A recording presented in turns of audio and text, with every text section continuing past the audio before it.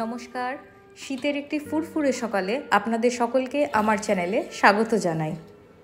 আপনি যদি আমার চ্যানেলে নতুন দর্শক হয়ে থাকেন, তাহলে চ্যানেলটিকে অবশ্যই সাবস্ক্রাইব করে দেবেন এবং বেল বাটন প্রেস করে দেবেন। যদিও আমি খুব একটা খাদ্যরসিক নয়, তবে মনের মতন কিছু পেলে পিছিয়ে আসি না। আজ বাজারে একটা দারুণ জিনিস পেয়েছি, কাজলি মাছ। কাজলি মাছ আজকাল প্রায় বাজারে দেখা যায় না বললেই চলে।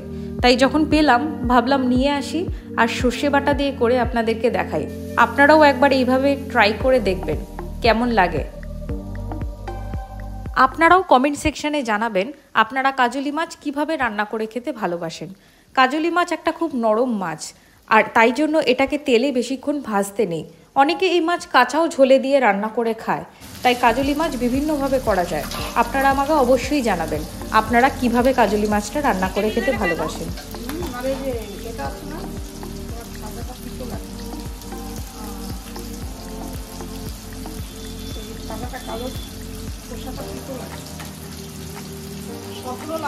ও, এই জন্য মা বলতো, এই যে মিক্সার মেশিনে পেস্ট করলে তোমার হয়। তাহলে না সব সর্ষে না না মা তো তাহলে ইয়ে করতো না এরকম তোমার মতো চেপে নিত না। মা তো তো ওই যেটা বাটা হতো ওটাই ইউজ ওর জন্য তো থেকে নিতে এত না আসে। বুঝলি? যেমনটা দেখতে পাচ্ছেন এখানে মাসি আগে থেকেই মাছগুলো ধুয়ে নুন হলুদ মাখিয়ে রেডি করে রেখেছিল। তারপর কড়াইয়ে তেল গরম করে মাছগুলো বেশ লাল লাল করে ভেজে নিল। এরপর কড়াইয়ে তেল, কালো জিরে আর টমেটো দিয়ে মাসি এখন ভেজে নিচ্ছে। টমেটো, কালো জিরে আর কিছুটা সর্ষে বাটা, ব্যাস, দুপুরটা পুরো জমে ক্ষীর।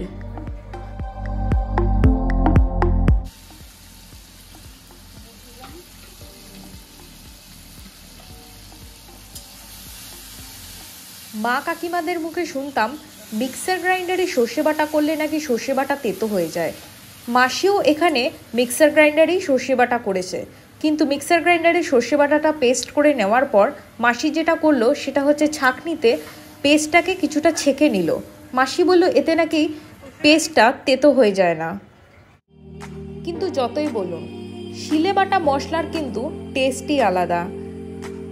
এখন মানুষের ব্যস্ত জীবন, তাই আমার মতো অনেকে হয়তো আপনারা মিক্সার গ্রাইন্ডারেই কাজ চালিয়ে নেন। আপনারা আমাকে কমেন্ট সেকশনে অবশ্যই জানাবেন, আপনারা কি প্রেফার করেন, শিলে বাটা মশলা নাকি মিক্সার গ্রাইন্ডারে করা মশলা?